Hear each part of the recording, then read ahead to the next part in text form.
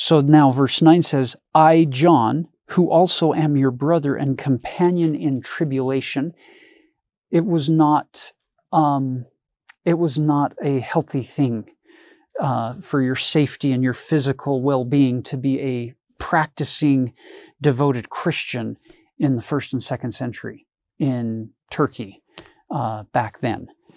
And so there's great tribulation. So he says, I'm your companion in tribulation and in the kingdom and patience of Jesus Christ, was in the isle that is called Patmos for the word of God and for the testimony of Jesus Christ.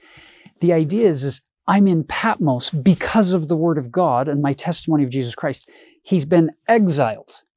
If you go to Turkey today and go to Ephesus and you visit the Basilica of St. John, you'll, you'll see some inscriptions, some placards there that describe certain things. One of them fascinated me where it said that uh, multiple attempts had been made on John's life and they couldn't seem to kill him. So, what did they do instead?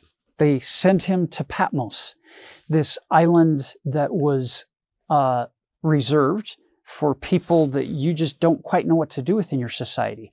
Um, criminals that aren't bad enough to be killed, but you don't want them in your society, you send them to Patmos. People with mental disorders that they didn't, in that day, didn't know how to treat them or how to uh, work with them. So here he is, exiled on the island of Patmos with other people who have also been sent there because society didn't know what to do with them.